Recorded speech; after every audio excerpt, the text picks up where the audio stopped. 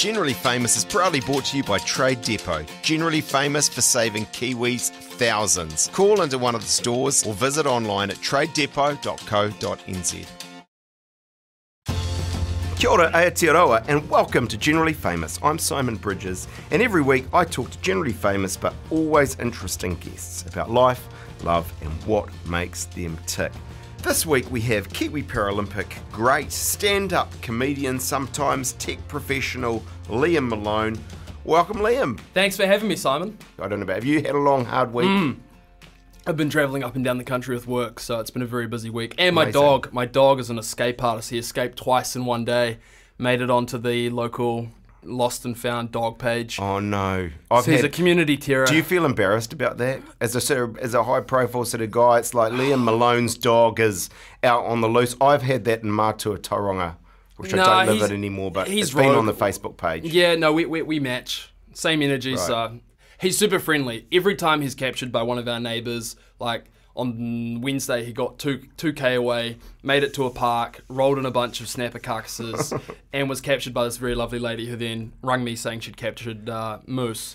Brilliant. And seeing as you're sort of, I, I, this wasn't where I intended to start, and we'll get back on track soon, but your girlfriend, partner, Madison Reidy, uh, Newshub reporter, I feel like I'm sure I've been bruised by her in some sort of interview at some point in time in my life, but now she's, you know, gone on to bigger and better things in the corporate world. Yeah, she's head of content at Jarden, and you would have undoubtedly been bruised by her, as as I have, Not as not, I have. Not not literally, but metaphorically. We all Correct. understand that. So you sound like you've got a life of sort of idyllic bliss with I a have a wonderful life. It's hectic, but it's wonderful. Fantastic. I want to go back, sort of. Let's let's go to let's go to the Rio Paralympics 2016. You won two golds in a 200 and in the 200 and 400 meters. You won silver at 100 meters. Um, amazing. You were um, incredibly fast. You are still the second fastest 400 meters New Zealand ever, something like that. I mean, it's like boom. Once upon a time, Right. Now I'd be lucky to run 400 meters, but at my No. peak, that was certainly true. I think I, I would have been the fastest. Yeah. It was a horrible experience in Rio, so I didn't break that record, unfortunately, legs or not. Um, but would have been capable of doing so. I'm sure I've run faster than that. So that's in terms of Paralympics, but actually also like overall, I mean, it's seriously fast. Yeah, so like I would have been the fastest in New Zealand, Yeah. legs or not. Yeah, able-bodied, disabled, whatever. How did it feel to win? Anticlimactic. It's not like winning the lottery when you go to the Olympics or the Paralympics. Yeah. It's you know three, four years of a cycle before the next games. Hard work. If you win a gold medal in the Olympics or the Paralympics, you get sixty thousand dollars. If you divide that by the amount of time that you spend training over three or four years, you know you're not on minimum. No. you're not on minimum wage, and it's it's a hard life. You get up 5 a.m. You train. You go back in the afternoon. You train. You spend the middle of your day either working or at university or in some other pursuit if you're ambitious. And And then you then you've got a round medal and some money, but yeah, you get a medal and, the- you're like, the "Oh, next okay," day is and just then- another day. Correct, exactly. The the joy of the Paralympics is outside of the competition because it's such a bizarre event. And um, I'll get into that, but maybe I explain why I went to the Paralympics and not the Olympics because I've got two fake legs. Yeah. Uh, so I was born with, and I'd usually lie about this and give you some terrible spiel about losing my leg in a shark attack. But I was born with fibula hemimelia, which is the Yeah. absence of the fibula bone. It runs down behind the tibia. So I didn't have that at birth when I was learning to walk. Both my ankles snapped. I learned to walk on the insides of my feet. And I've seen that sort of those videos. Yeah, video. never going to be sustainable. So they chopped both my legs off, and then fast forward, you know, 19 years, I was in a terrible space, and then decided that I'd become a And world wanna- champion. Yeah, and I want to talk about that, but that's right. So, and, and you, well, you didn't just decide, and you did. Mm. Um, and but so just on that Olympics though, that so that's I didn't actually know that. Well, and I know what you're saying on a sort of a wage over time basis. It's maybe not, you know, you're not going to be a millionaire, but you get 120k because you won two. No, you get You're sorry, 60. you get 50, you get 50k, you get an extra 10 for the so the marginal value of earning a second gold like. Is diminishing at like a rapid pace. But you know the I guess bell curve of like income for an Olympic athlete is just like pretty much zero. And then if you're in the like top 0.1%, you're a high earner. So like that would be through sponsorships, through speaking fees, and everything else. But besides that, it's a a very uh, I don't know what, a, a, not, not a wealthy pursuit. No, and the sensation of running on blades. I mean, I obviously haven't done, done it. G- Well, you could Give us a- amputate both of your legs and you could give it a yeah, shot. well, I wouldn't recommend well, it. Eh, well, what's the feeling like of, of that, that that running on blades? Well, so I grew up with wooden legs and it feels a lot better than that, but it doesn't feel that great still. So my It's leg just was not comfortable. It's just not comfortable. The easiest way to explain it to someone who's listening is imagine you're wearing a shoe, but the shoe's a size too small than what you'd normally wear, and it's made of carbon fiber, and it rubs around your foot and causes it to bleed and bruise. And that's what it's like to wear my prosthetics with the amputation that I have. And when you wear blades, it's that, but it's a little bit bouncier. So you run really fast. It's it's epic. a, don't get me wrong. There's a bounce to it. It's There's a little bit of a bounce to it, but the stiffer the blade is, the less bounce there is, and you run a little bit faster. So it's actually better to have it not bouncy because you're spending all this time with the blade compressing on the ground like a spring, when what you really want is that spring to compress and decompress as fast as possible. And that happens by it being stiff. And the equivalent to that for someone who's able bodied is you want your tendons and muscles to be super stiff so that they're fast twitch. yeah. Yeah, you don't want to be like spending all this time compressing your muscle and then extending. You you won't be very fast. Just sort of briefly on the prosthetics, you would have several different kinds of uh, artificial legs um, that you'll be putting on depending on what you're doing. Have I got that right? Correct. So I have obviously legs that I walk around in during the day. Uh, legs that I have for diving and spearfishing, where the foot can rotate uh, you know, an extra 90 degrees so that it's lengthways, so I can kick with fins on. I have legs for running. I could get legs for snowboarding, but I tend to wear the legs that I'm wearing for everyday walking. But you can get these awesome legs that have like a Fox shock from that would be the same as like a the rear end of a mountain bike shock, and that goes to the front of the toes that then connects to the shin of the prosthetic, and they're awesome for snowboarding. So for any type of activity that you're doing, you can adapt a prosthetic to the specificity of that activity. Amazing. And if we think about the Olympics, there's probably four other things as well, but it's a combination of your athleticism and all that training you've done and the technology, right? And um, I, I was really struck by something, you know, you've said about what your, your dad said to you, you know, that growing up, you know, with the pain and the teasing and so on, he, he said to you, someday someone's going to build you legs, the technology is going to allow you to run faster and better. Tell me about the the technology that goes into those those ones for elite running and sprints. Yeah, and you hit the nail on the head. So the Paralympics is in some capacity the intersection of technology and human performance, more so than I think the Olympics is. The blade running capacity, so the blade prosthetic, is a uh, design using biomimicry. So it uses the design of the hind leg of a cheetah as its inspiration for its shape, which is the opposite of like the human shape of a foot. So that's super awesome. And then it's made of like a carbon composite, so it's lighter than a normal leg and it's stiffer than a normal leg. And of course, it doesn't fatigue like a normal leg because it's not real. So when you weigh those things up, um, over 100 meters, it doesn't allow you to be faster than, I guess, an able bodied person. Over 400, 800, you begin to see the, I guess, marginal improvement between technology and human biology, which is pretty cool. Amazing, amazing. There's Um, no way that I would have been that fast had I had real legs. So that's quite cool. Yeah, amazing. Um, your ones at Rio, for example, would be unique to you. And so there's all these, and so, you know, Jimmy from Mozambique or whoever's there, they, they, they, they're running. And so this is all part of, as you say, that combination and the who's most athletic, you know, who's kind of a bit like the America's Cup. Correct. And that's why there's this massive challenge around the disparity in equality for competition when you have developing countries who don't have, I guess, expertise in carbon composite manufacturing. And then you have a country like New Zealand and it has carbon fiber for rockets, for uh, the America's Cup, for whatever. We can build these incredible blades, uh, which obviously gives me a huge advantage. For the most part, my blades were the same as everyone else's, besides the fact that I discovered making a blade stiffer changing the angle of it a little bit mm, led to massive improvements. So who's doing this with you? You're, you're obviously, I mean, you're, you- you're right up on this. And I mean, you're, we'll come to it, but you're a technophile, you're a tech savvy guy, you work in the tech sector.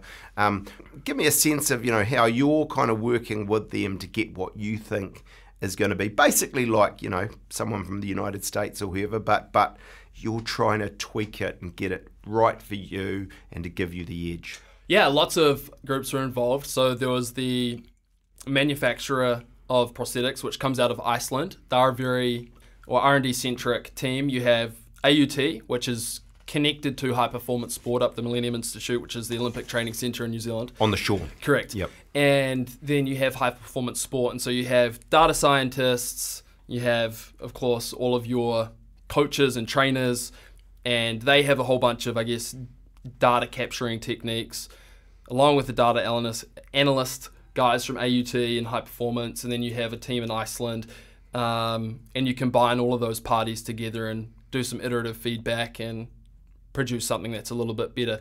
And you don't need massive improvements in these technologies to get like significantly different outcomes, and that's the difference between winning and losing Yeah. at the end of the day. Yeah. Um, who came second to you? And I don't know, let's go 400. Uh, Hunter Woodhall, American kid. Right. Uh, he's actually become famous on the internet, and uh, he's super cool. He's you know a really uh, charismatic, young, optimistic American guy. The, the most fascinating. Oh, sorry to divert. The most No, interesting thing about the Paralympics is you go there and it's ten thousand people who have varying disabilities, right? And the most interesting thing about going to the Paralympics is eighty percent of people have overcome their disability. They're absolutely hilarious. They make savagery jokes that everyday people would never accept in society Right. about each other, right? It's just like Yeah. if PC people were there, they would melt. Yeah. And uh, and then you have twenty percent of people where uh, you know they might their disability might not even be severe. It might be like minor cerebral palsy. They might have a missing hand or something. You might be like me, an amputee, and life's pretty normal, and they're still miserable. Or you might have a guy with no arms, no legs, and they're absolutely hilarious. They're super positive, and it doesn't bother them at all. And you know, it's just one of those realizations that you had from being at that event that it really doesn't matter what's kind of going on in life. It's like your attitude and your perception towards it and how you overcome these things that makes all the difference. And going back to Hunter, he was one of the people that I met who was kind of like me, super optimistic, See amputee or double amputee. Yeah. So so the way that the Paralympic is structured, Paralympics is structured in terms of races is double amputees and single amputees below the knee compete each other against each other and I think that's changed now where they've separated them because being a double amputee over 400 meters is a huge advantage because single amputees have uh, one leg that fatigues. Yes, Obviously, their right. biological leg fatigues. Right. But over a 100 meters, a single leg amputee has an advantage because they can generate power from zero kilometers an hour out of the starting blocks because they have muscles in their calves. So yeah, so Hunter came second in the 400. He came third. At, oh no, he didn't. Uh, he came second in the 200, and uh, then I can't remember who came third. They I suppose I was interested. Why, why do you, given that complex combination of factors that go into winning, say, a 400 meters at the Paralympics, why do you reckon you had the edge on him? Uh, Uh, hopefully, he won't be listening. So, there, there won't be one. one, I was just better. Uh-huh. Two, I was very lucky in the people that I had around me. My coach was absolutely phenomenal. So for two years leading into it, I was training by and large by myself. I had a coach in Nelson who'd write me programs, but I trained by myself every single day in Wellington with no team. I then moved to Auckland under the Olympic umbrella. I had an incredible coach. He corrected my training. That made a massive difference on the biological side. Then we had the technology solution. You combine those two. I don't think other athletes focused on the technology side as much as I did, so which gave me a technological advantage in that capacity. But also, then you just have like my personality and my character when it comes to competition. These guys all took the Paralympics very seriously. I get that the Paralympics is this giant event, but the fact that there were 10,000 people with disabilities around me, I couldn't take it seriously in some capacity the whole time because for a lot of it I was I was laughing. Right. And beyond that, at the end of the day, you're just running around in a circle, right? It's not as important as being the leader of a country, being a doctor saving lives, whatever. So it's easy for me to reduce to it not being the most important thing in the world and not getting caught up in the moment. Whereas I and that helped. massively because I competed against these guys outside of the Paralympics, and um, where the event wasn't as big, and they did a lot better. And run me through the um the athletic part of it. What, what was your? I hear what you're saying, and I get that, right? Like actually, in a way, if you were it a bit more lightly, and you're not kind of, I need to win this, and I'm gonna, you know, die if I don't. Yeah. Um, that can be an edge. That said, you were training hard. What was your kind of daily regime? Well, I overtrained for a long period of time, and like ugh, nine months out, before, uh, sorry, nine weeks out before the games, before I left to go to the states and train leading into the Paralympics, we did these tests, and I burnt out. Like I could barely finish a 400 meter race, and because I was secretly training because I was anxious about losing, so I would go to the track at like 4:30 in the morning and train secretly, and so my coach kind of discovered that. But I would typically train in the morning. I don't know, two hours, and then in the afternoon, two hours. There'd be some combination between sprint work, speed work, power work, like in terms of speed, speed endurance, aerobic, and then strength, power on the gym side as well. So you have all these different components that come together, especially for a 400. 400's got to be one of the hardest, if not the hardest, running race on earth because of its combination of Yes. power, speed, endurance, and aerobics. Yes. And each phase of that race has a different capacity of that, which is super important. And then you're out 2018, not too long after you be at the top Yeah, of the I podium. really, I, yeah, it sucked. I sadly had um, two injuries in 2017. I suffered from nerve damage and then a minor bone fracture, which we didn't actually discover for another three years, which led to me getting my leg re-amputated in 2020. Um, so I spent a year in crutches. Uh, I came back, and then the Paralympics changed the way that the blades could be designed, and uh, I received this email in, informing me that that was the case. And within an hour, I decided that it was time to move on. Right. You're born in Nelson. You're not sort of emotionally scarred from that. I love no, Nelson. I mean Nelson's a great it's city. A, I'm it's just, a fantastic You've got the keys city. to it. Well, I've got a sister Key. in Nelson by the key. Yeah, Key, okay, to, key to the city. Not that I'm not that I'm sure what that key opens the door to. Life. Uh, life maybe, Liberty. maybe a bar at 3 a.m. with a bunch of your mates. Who knows? Yeah. If only. Um, you've you've told us. I mean, you. Uh, fibula hemimelia, have I said that correctly? Mm-hmm. And um, you know the absence of fibular bone. As a toddler, I've seen that, as I say, that video of you, you know, w- walking, but obviously it's not um, like an able-bodied toddler would be. And your parents made a courageous decision that you would be amputated. Was that? Um, I- just excuse my ignorance, but was that um, inevitable, or could there have been another path that would have been a? The other path was not amputating, hoping that there were medical surgeries where they could insert a rod every, I don't know, six to nine months as I grew that would replace the fibula. I know someone who went down that pathway and the appearance would not allow them to get their legs amputated. He spent his life in crutches. He was miserable and depressed and was suicidal up until he got his amputation done at 19. Once he had, I guess, the legal right to make that decision. Best decision of his life. He now lives a life very similar to mine. My parents made the decision to amputate. I had a fantastic orthopedic surgeon down in Nelson who made that decision in conjunction with them. And I'm very fortunate to have a father who is uh, very optimistic about how technology just improves over time. And he was like, ah, you know, prosthetics are very limited now. And they were. They were made of like wood and rubber, and a bolt would screw my foot onto the rest of my prosthetic and it would come loose, and my foot would spin around.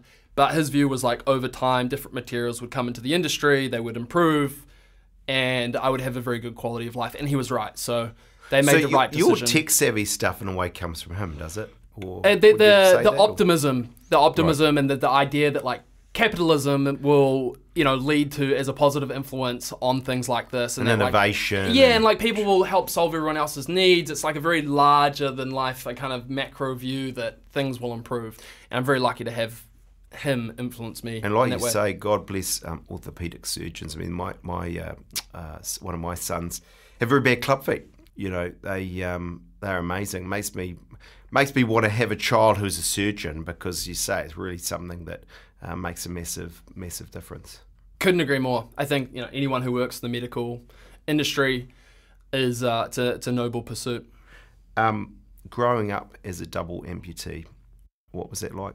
Awesome and shit at the same time. Right. Uh, on the the downside, obviously, you grow up, you're unsure why you why this happened to you. Then my parents My parents were annoying in some capacity. I should have done something that I could have been good at that would have built my confidence, like playing chess, right? I don't need real legs to learn how to play chess. Why are they making me do cross country? Right. Do you know what I mean? Why are you making me do a one kilometer cross country race? And and what were then terrible? Um, Prosthetics. yeah. Yeah, I, I came last in my first cross country race by like 500 meters on a one kilometer race, and the girls who started five minutes after me beat me. So that was, you know, I think I ran the last 100 meters, and people are yelling like, "Yeah, run, Forrest, run!" And uh, but my mum year on year made me do it and do swimming sports. My leg would absorb water, and I'd start out parallel, and I'd end up aqua jogging on the bottom, or I'd, you know, play cricket, the ball would hit my leg, and then the umpire would say, you know, can the leg, kid with no legs get out leg before wicket? And everyone's having a laugh. And so, you know, it was just one. Which is sort of funny, but It's hilarious. kind of no, it's annoying. hilarious. It's hilarious. It's hilarious. I, I, you know, from a very young age, I could at least see the funny side of it. Despite that, there were times when I would go home where it would be overbearing, and I would cry, and I would say to my dad, "Why does this happen to have to happen to me? Why do I have to be the one with no legs?" And he would he would say things like what you mentioned earlier. You know, one day you know, don't count yourself out. One day someone will build you legs that will allow you to run faster than your friends. I would parrot that at school. My friends are like, what are you talking about? Like, what are they going to do? Like, build you cheetah legs? Inevitably, that was That's that, what that- they that- did. That's what happened. But outside of that, you know, having prosthetics has been fun. You know, at intermediate, we would spray my legs with, uh, like Lynx. We would set them on fire at school. we would do all sorts of ridiculous that things. doesn't sound particularly politically correct. But, No, it do- it or health doesn't. and safety friendly, I have to say. No, neither. And you were doing like, um, I mean, you were in team sports with able-bodied and able-bodied teams. You were doing rugby. Oh, man, yeah. which, Exactly. like, and was I'd hate to be my teammates. and I'm sorry. What a like- stitch up. Were you were you there, uh, thereabouts with your other team members? Yeah, up until about uh, puberty. right. Yeah. Um, I mean, I remember a story uh, I think I've seen some time back uh, where you know you're there at a sort of a, obviously a competitive game. There's parents in the uh, crowd, and you know you're kicking a conversion, and the foot comes off. Yeah, all the time. How you- Leg, leg goes further than the than the ball. First time I went to kick a rugby ball was like uh, with Andrew Mehrtens, who used to be Yeah, an all, well, all yeah. black and, Right. and number 10 for the Crusaders. And it was at a pub. The Crusaders were at our, our local pub, and he asked me to kick the ball. And my leg went further than the ball and landed on the roof of the pub. And so You get it down. I, I think the guys they did the, like the line out thing from the forwards. You know, it's like it's just totally comical. So yeah, that was that was my entire childhood. How do you think it shaped your character? I mean, I'm presuming it makes you kind of tough, resilient. Um, you know, you're confident. And uh, these things sometimes, is, do you think that's what it did for you, or am I Abso- over? Absolutely, but it's also made me like lack a little bit of empathy when I hear other people complain about their problems because I've big been through enough things and like all storms they pass, and I think people's capacity for resiliency is much higher than they think of themselves, and just like an ability to laugh at like the the difficulties in life. So what do you do as we talked, I think, off here? You're 28, you're in your prime. What do you do about that, um, in your words, lack of empathy? I mean, do you think now, is that something that you consciously check yourself on and say, well, you know, I know because of who I am and, you know, school of hard knocks, I'm, I've got kind of think like this and I need to go out of my way to be a bit more honest because not everyone's born shaped the same, has the same resilience. Some people take things tougher than others. That's true, but in the same respect, I think back and I'm like, ah, how should people have treated me when I was in those situations? And like, I think every situation's unique and it depends on what someone else is going through. But uh, sometimes people need some tough love as well, and they think that comes from a place of respect that I know that that person can get through something, or that they're just whinging and moaning, ah, which I hate. I can't stand whingers and moaners. Were you treated as different or the same growing up, do you think? The same, Yeah. yeah, the same. That's And- clearly what your parents wanted and did. Correct. And the same in the sense that I was teased about my legs at school in primary school, and I should have been because that is actually the definition of being treated equally as like kids all tease each other about all sorts of different things and it should never have been off limits and i'm like gr- so unbelievably grateful that that was the case there would have been nothing worse and there is nothing worse than like in that capacity, like something being off limits. And when it's off limits, that actually comes from a place of being above someone. So, like the fact that everything was on the board growing up was the best.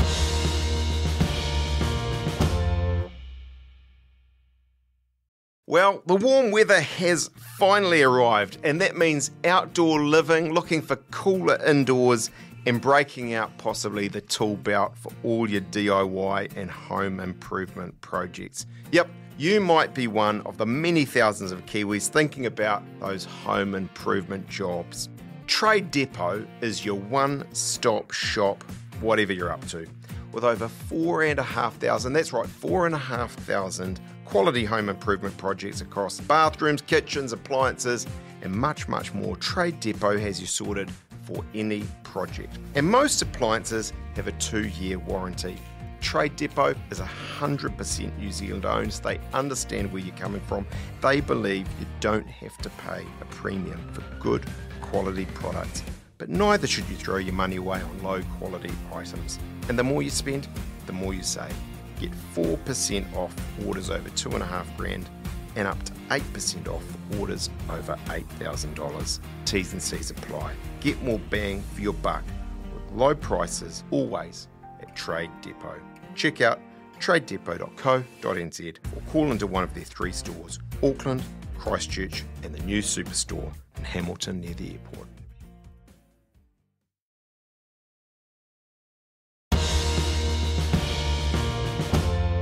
It wasn't always the case that you were going to, you know, have the story that you've had and be a Paralympian, be a, a, a high achieving guy who's well known. Um, you, you, know, we've talked about some obvious, you know, tough stuff, the fibula hemimelia. Um, your mum died, I think I'm right to say, when you were 18. Mm-hmm, Cancer. Yeah, correct. I mean, that's um, always going to be among the worst things that can ever happen to a young person. Um, and then what we also know, because I think it was in the media. I mean, as you were um, a young guy at varsity, I, I, doing commerce. Mm-hmm, correct. Yeah, I did a commerce degree. And you know, you're drinking, you're smoking dope, you're um, you're going the wrong way, um, and you have a car crash, sort of literally and metaphorically. Yeah, exactly. And it all hit a peak. I mean, I was just uh, post 18, my mum dies. I move to Perth. Uh, I arrive in Perth. I find out that my you know my brother's a, a meth addict over there. And uh, I eventually come back to the University of Canterbury. They let in a bunch of students who shouldn't have got in after the earthquake. I was one of those students.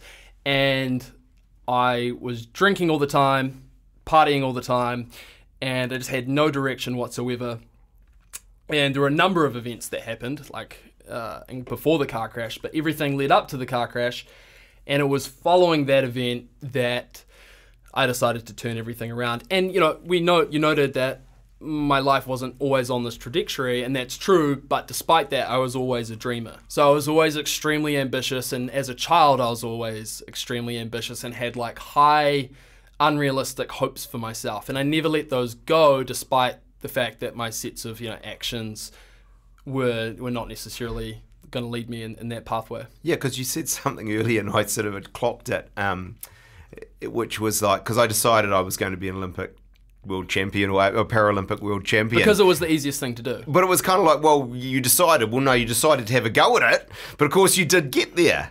Right? Yeah, but I decided and, that that was going to be. Yeah, but it was obvious. That was, but that's you know at a level that's dreaming, right? But but I mean, no, it wasn't. No. Well, it wasn't because for you it was realistic, but it was the most obvious thing to do. It was the that was the easiest thing to do was going to the Paralympics. Um, like one of the you know a great piece of advice is that competition is for losers, and you can think about that in like if in a business capacity. Going and starting a restaurant might be one of the most competitive things you can do. Most restaurants go under. I think the like professional version of that is most people go out and they try to do like a CFA or become a lawyer. It's an endless grind. It's very hard to get to the top, and the rewards aren't that high the Paralympics, if you looked at it, well, not many people can go to the Paralympics because most people aren't disabled.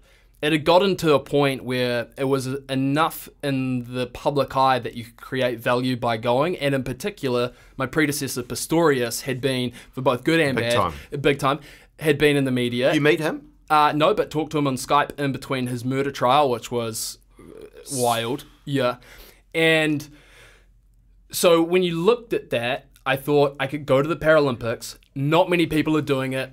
Uh, no one else is going to enter it. No one's going to chop their legs off to go to the Paralympics yet. And so uh, despite the fact that I wasn't an athlete, I hadn't run in like seven years, I was pretty confident I could get there. And so that versus doing other things like starting a business, I had the idea of climbing Mount Cook, but like there's not that much value in climbing Mount Cook. Risk losing my hands as well. Look like Patrick Star from SpongeBob. All these different ideas. Going to the going to the Paralympics was the obvious, easiest, most sensible thing I could do in terms of creating value, being unique, monopolizing myself, and being able to go and do other things. That's that's why I went to the Paralympics. I didn't have this pursuit of like I want to be a Paralympian. I wanted to be passionate about changing the world with disabilities. It was like it was very strategic and I understand, about- and, I, and what you say all makes rational sense. Although you know, I decided to be prime minister, and that didn't happen. I mean, the, you know, people can make d- decisions and have a view of something, and it doesn't come through. And not everyone, in fact, like you say, nearly everyone doesn't win a gold medal uh, at the Paralympics. Um, I, I wasn't going to, but I was just interested in what you said about um, Pistorius. I mean, what a weird sort of situation there. What what was your impression? Let me of- give you an insight that no one else can give you. I grew up on a farm. My mum was often down in Christchurch battling cancer. My dad was often away. So either there was one parent home in my teen years or no parents home at some times. Um, most nights I would have slept with my legs off back then. And it was there was an overwhelming sense of paranoia and it was very common for me to sleep uh, with like a knife or something beside my bed in the sense like that's living in New Zealand in a safe farming community because you feel so vulnerable without your limbs. When news broke that Oscar had shot his girlfriend in South Africa, my immediate thought was, holy shit, that makes sense because I felt like that historically. Uh, and at that point, at that point in time when it happened, I was at university, so like I'd felt As a like result, that, and, and you're saying that the double, the, the the fact of being an amputee feeds well, in. it feeds into that because if you were to, if someone was to break in while I was asleep with my legs off, there's no chance for me to say to an intruder, pause for two seconds, let me throw on my legs and try to mess around with the Velcro and the duct tape before we, you know, before I defend myself. So I get that. By the way, I'm not defending him and saying that he's innocent. I'm just saying that I can, from my point of view, my initial first reaction was that makes sense to me because I felt like that. Wow. Um, I, I don't want to come back to your um, car crash. How did you come out of that? What happened that's made you say, right, I'm getting on track? Well, I was amb- I wanted to be ambitious and I wanted to be successful, and just nothing was happening. And it was enough of an event. It was a significant event that it forced me to make a change and assess the way that I reacted to things like my mum dying and having artificial legs. Like ah, those things are tough, but how you react to them is what really drives those outcomes. And so it was that self awareness in combination with, you know, the fact that if my mom was still alive, it would have disappointed her. My dad was alive, s- seriously disappointed him, disappointed a lot of my friends, and I have very, very good friends. And so, you know, it was the right set of interventions and the right set of, I guess, self motivation to turn things around. Friends around you were a great support and Epic, you get yeah. back I have epic friends. Amazing. Hey, um, today, do you consider yourself disabled? Uh, sure. Yeah, I mean, in some capacity, certainly. Because I asked that because I think I've I, I- I think I've read you saying you don't necessarily. I mean, is it what? I don't in the sense of like my attitude, like from an, from a point of view that like d- do I have any self doubt in trying anything? Absolutely not. Like I have my skydive license, I can snowboard, wakeboard. You know, I do more things than most able-bodied people. I'm in better shape than most able-bodied people. So in that capacity, I don't view myself as disabled. I don't think it restricts me in achieving any of my dreams functionally, is there a disability? Absolutely. If I want to go out and party for a night on the town, it's very hard for me. I can't stand up all night. It's extremely painful. Right. Like beyond an hour, I'm in an 8 out of 10 pain. Yeah. And so there are certain physical like realities that are tied to being an amputee that are disabling. At like a broader level, is it restricting on my life? Absolutely not. It seems to me there is, that and I, as I say, I don't understand it. There's politics around the words and the terminology we're meant to use. Am I getting it right, or what? What? Um, Should Dude, we I, be, I don't. Should I, we I- be hung up no, on what? we shouldn't. We shouldn't. I, I cared a little bit when I was younger when you're caught up in identity stuff, but like, uh, it's so unnecessary. Like, I couldn't care. You could call me whatever. Disabled. What?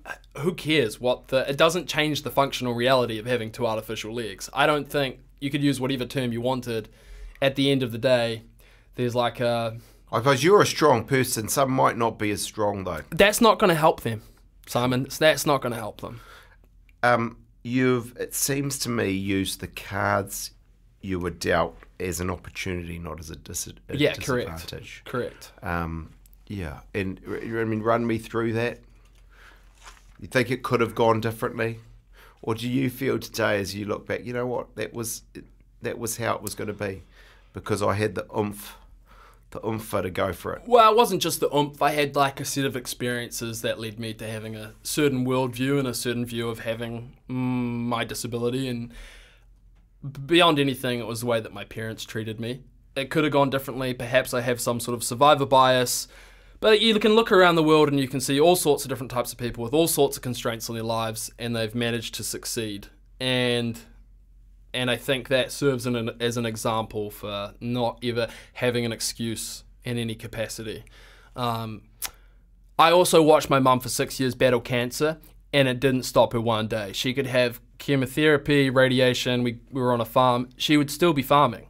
She would watch my dad try and do things on the farm, become frustrated. She has a colostomy bag on the side of her stomach, which is which you know her, her bowels go into and she'd be having chemotherapy and ready, and she would still be getting out there. So I've seen very, she was a very, very tough person on herself, on me, and that serves as like a driver to not give up. And then I think I'm a big reader, and so I've read a lot of books. I love history, and there's a lot of people throughout the world who have overcome great difficulty. And I think you look at that and you go like, ah, my life's pretty easy. What sort of books do you like? Um, all sorts of books. I like fiction, non-fiction, fantasy, sci-fi. I like finance books, uh, historical books, all sorts of books. Fantastic. Um, I'm going to ask you a problematic question, but I, it's on the back of some things I think you've said. Um, if you could go back and wave a magic wand, would you be born with two perfect legs? I'm gonna say yes. I I think that the this is how I would explain it. The net suffering over the arc of my life will be severe enough that I think having two real legs would be more beneficial. The counter to that is if I was born in Nelson with two real legs, the probability is that I probably would have become a builder or a plumber down in I've got- Nelson. well, that's my next thing to Yeah, you. so I've got I- this I- quote here. so it's- I feel lucky I have no legs. If I didn't have no legs, I would be the most boring, basic dude from Nelson, and I'd have nothing different about me. I'd probably build a be a builder. End quote. Not that there's anything wrong with being well, a I know, builder. well, that was my next one too. but but- but I think it's been the almost the perfect set of constraints to push me in directions that I'm very lucky to to go in. I mean, adversity breeds character, It does. and it pushed you in a different direction. That's why I say problematic question. It's ridiculous the way you are who you are, and you know you make and make decisions on the basis of that. But um, yeah, no, there's nothing wrong with being a builder. Uh, but you're in. I you're wish in, I was good at building. I just built the fence for my dog and he escaped. Any good? So, Well, uh, horrendous hopeless. fence. Useless. Since the Paralympics. Um, you're you've been on the speaking circuit. You, you're bloody good at that. I've seen the TED talk. Um, are you doing much of that now? Not within not within my daily working life. Stand up comedy. gave that a shot, and that was really just about. Um, I think that you should always try and pursue new things outside of the scope of your, I guess, capabilities. So I was living in London. I was working for a very cool New Zealand tech company, traveling the world, and I didn't have a whole lot of friends in London, and uh, I was watching a lot of Netflix. Anyway, I decided that I'd go to the Edinburgh Fringe Festival, largest arts festival in the world. I don't know how many artists go. Thousands, probably hundreds of thousands, if not millions of people go through Edinburgh to watch it. Usually, people would spend years performing like a craft, whether it's theatre or stand up or some form of other performing art, before going. They would run a tour somewhere and then they would take that show to the Fringe Festival. I set this goal six months beforehand. managed to get myself a venue that I shouldn't have got, and just like went to pub after pub every single night, told jokes for five minutes, didn't get any laughs, went home, cried myself to sleep. And I arrive at the Fringe Festival, and the general statistic is that like the average audience size is like four people. Most artists go there, they lose a bunch of money. It's a horrible experience. It's a fun experience, but a horrible experience. I arrive on the first night, and the staff come outside the venue as I'm arriving. They say, "Congrats, you sold out the first week. How did you do it?" And as they say that, the Scottish Disability Association bus shows up outside the venue, and I'm thinking, "Shit, I've made." My whole show is jokes about these people, and the whole first week was a bunch of disabled people coming to my show, and they were the ah. best audiences that I had. And how did it go? time. They were awesome. They were absolutely awesome. I'm not gonna They laughed? laughed, laughed the whole time. Yeah, I'm not gonna repeat the jokes. I'll get cancelled. No, but no. Yeah, no, don't. they were they were fantastic. Oh, how how funny! So, really, why didn't you keep going with that? You didn't sort of feel you had a future as I would get cancelled. One, right. that was the big one. And there's like, Word of our podcast, problematic. yeah, there Yeah. you go. Um, get cancelled. You know, you have to make some estimation on whether or not you're going to succeed. I was not going to succeed, and um, yeah, No, fair uh, call. Yeah, And so now you're in the tech world, and um, so I think the business you're talking about Soul Machines, which obviously I know of, AI. Um, now you're at Amazon. Um, I, I think I'm right to say you've been involved in startups. You would have had a lot of opportunities and options before you. Why did you get into the tech world? Well, again, it goes back to being anti competitive, trying to be, and looking at the mean of the outcomes within those competitions. It's like, think about it as like, the, yeah, you were a lawyer, right, historically? And it's like, I guess most people that go through law, regardless of where they end up, they grind. It's like 80 hour weeks for a lot of young absolutely people. right. It's a grind, and they don't earn a lot now That's a, a lot. Don't you're right. for the hours that they work and the stress that they take. Yep. The same is true of finance. They work huge hours, they grind. There's a lot of people doing it, a lot of very smart people doing it. And by and large, that's because those industries have become saturated and they've matured, and there's not a lot of growth left in them. The opposite is true of technology, especially of the big technology companies. So the average person in a technology company, they are incredibly bright, they're incredibly talented, and yes, they work hard, but their outcomes are a lot better. And you, if you work at any of the big, you know, Microsoft, Google, Apple, Amazon, the work-life benefits are immense. The opportunities are more immense, and for those reasons, it makes sense to work in technology. And then naturally, I'm inclined intellectually towards the technology side of things, which makes it satisfying and interesting and, and everything else that comes with it. But does that make sense? Yeah, it does. I know it does make sense to me. And so, but it's a lot like what you were saying to me about going and you were going to win at the Paralympics. You really have a thought process. You're working through it, and you're quite. And I don't mean this in a bad way. I think it's a good thing. You're quite calculating in terms of why you've done that.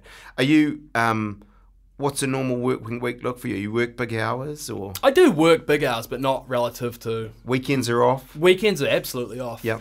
And working at Amazon, I do believe is the best company on earth. Naturally, I'm going to say that I'm biased, and I don't have to say that, but it, it is a phenomenal company to work for. I would probably work 50 hours a week, 60 hours a week. Right. And um, How do you feel about the tech sector or sectors really in New Zealand? I mean, um, are we an innovation nation that's got to do amazing and is doing amazing things? Is a bit undercooked? What's your? Do you have any views I on think that? that's a broad geopolitical question, Simon. Is that above both our pay rate grades, possibly? uh, it's well above my pay grade to make that that judgment. I would Well, I thought say, I'd give you the opportunity. I don't know. I just felt like you I think there's a lot of great people doing great things in this country, and I think I think the underlying question of what you're asking is like, do we become a technology centric country in the future? Like, is that our future? I don't know. I don't know if that's like determined for New Zealand. I think we've got a lot of challenges to get across before that might be possible. Um, I feel like we're a little bit behind the eight ball. We've got we we could. But sort of open to us. I think we we could kind make of it perhaps e- not smashing think- down the doors we need to. Here's some things I think would make it easier. I don't think we need to send kids to university until they're 22. I think Right. that's a giant waste of time. I think Right. high school, for the most part now, is advanced babysitting. And I think we could reduce the barriers to making uh, attempts at building great technology companies in New Zealand. And then on top of that, we could have a much greater set of incentives to bring technology companies to New Zealand to foster uh, development because you, the best training you're going to get for a society is actually going to come from companies that will get outcomes as a result of having trained staff. And so I think we could we could have a set of policy, Simon, if you ever want to go back into politics, that you could implement that would encourage. It's a bit that. like law, Liam. Long hours, not a lot of pay. Um, Yeah, well, no, look, it's all relative. I know there'd be people saying they say they, they are overpaid and terrible people and all those things. But anyway, I'm see. I'm glad I asked you that question. Look at what you gave me. We had educational reform. We had it all going on there. What's um? You're th- you're not even thirty.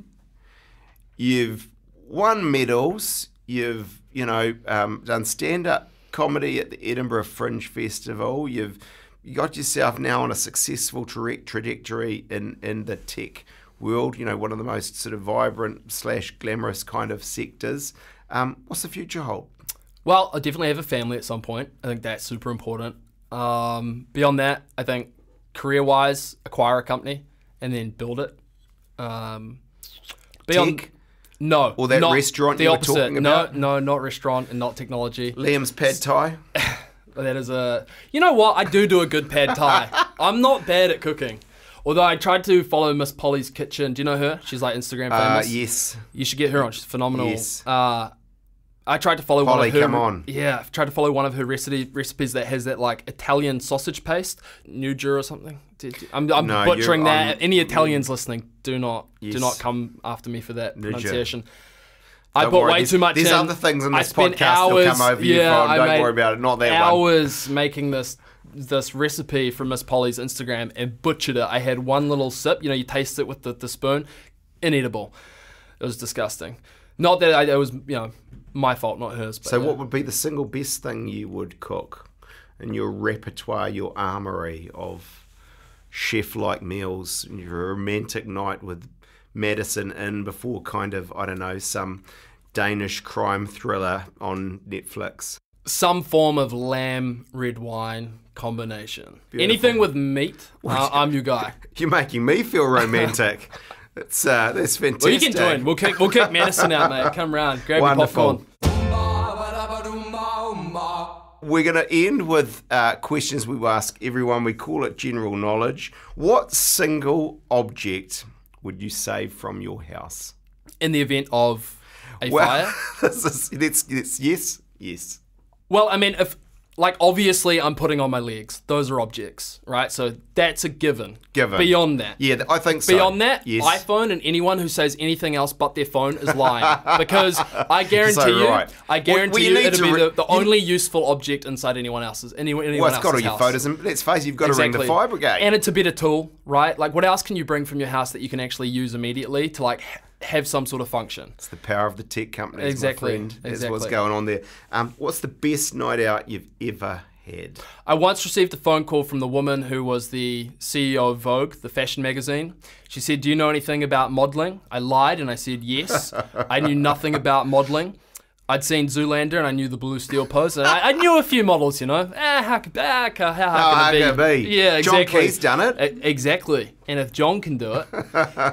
so she flies me out to New York. I'm at the one of the most expensive fashion shows at New York Fashion Week, and they had this large industrial uh, hangar that they filled with like a foot of snow. Now every celebrity you can imagine was there, like Fergie and Leonardo DiCaprio and Snoop Dogg, and they put me in my blades and like this weird little lycra outfit. It was odd to say the least, right? And I was like, surely at some point someone will give me guidance, a tutorial. I have no idea how to model. Anyway, I'm the last model. I'm there for diversity reasons. The last model to walk. They just say go. I take two steps. I lock eye contact with Snoop Dogg in the front row. He'd seen me in my blades and the lycra. Honestly, it looked like he'd just seen Mr. Tumnus from the Chronicles of Narnia. I love Dude. that Mr. Tumnus, by Yeah, the way. so, yeah, I can still um, see the picture from the book my mum read me. I thought he was dubious. Uh, he panicked. He kind of had this reaction. It made me panic. It was muscle memory. I just started running along the outside of all the models on this runway. I ran around the outside of all of them. I passed the one who's in the front, by the way, and I run backstage. And as I ran past Carine Roitfeld, this incredible fashion mogul, She put her head in her hands, and I'm thinking, I've scalped her. I'm backstage. The lead designer walks up to me. He looks at me. He goes, You are a genius. he takes me back out for the final walk, and then I get this phone call, and this agent says, Hey, do you want to have dinner with Fergie from the Black Eyed Peas? She saw you tonight. I'm like, sure. And my ego goes, I'm being asked on a date with Fergie. I arrive at this event. It's not a date. It's not a one on one with Fergie. It's a fundraiser for the Special Olympics. She saw me and she thought I went to the Special Olympics, not the Paralympics. So the whole night I'm having dinner with Fergie and she's talking to me in 0.5 speed highly oh, it was painful so it was a wild wild like arc of unexpected events and it was absolutely hilarious that would be the best night out because it was just so That's some so, seriously so good name dropping you've got going on there, though. Mm, yeah it was Snoop, weird yep Fergie. And this is in, I because I was just caught up in so much that was going on there. This is at New York. yeah in new york Amazing. This before or after you'd won Paralympics? After. Right, amazing. Um, what's the best advice given to you and who gave it? Uh, probably my dad, like waking up in proportion to your talents. Like the time you wake up should be in proportion to your talents. So I think he was saying you need to get up very early in the morning, if that makes sense, and work hard. So, Yeah. and I think that's true. I feel like I've had similar advice from my dad Yeah. long ago. Hey, it's been great to have you, Liam. I wish you all the very best for the future. You've been listening to Generally Famous with me, Simon Bridges. This is the final episode of this season, but I'll be back in a few weeks with more brilliant guests. If you're a new listener, you can find every episode at stuff.co.nz slash generally famous or wherever you get your podcasts. Although we're taking a short break, we will be releasing some bonus shows. If you follow us on Apple or Spotify, any of the podcasts and apps, in fact, you'll get them automatically. Thanks to my producers, Chris Reed and Jen Black. Thanks to all my guests so far, and thanks to you for listening. I really appreciate it. Generally Famous is proudly brought to you by Trade Depot. Generally famous for low prices, always. Kiwis are now travelling to Trade Depot, Hamilton Airport, to visit the world's biggest bathroom, kitchen, and appliance superstore. Here you'll find thousands of new premium products from world leading designers and manufacturers. Trade Depot's bulk buying power means you'll save thousands on home renovation products. It's worth visiting Trade Depot at Hamilton Airport, the world's biggest bathroom, kitchen, and appliance superstore. TradeDepot.co.nz.